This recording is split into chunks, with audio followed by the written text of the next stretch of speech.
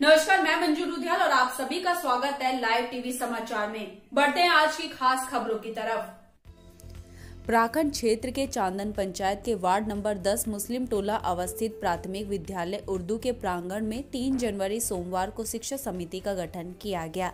इस दौरान मौजूद प्रवेशक सह संचालक कन्या मध्य विद्यालय चांदन के आदित्य कुमार एवं चुनाव पदाधिकारी पंकज पांडे की उपस्थित में विद्यालय के सचिव का गठन किया गया।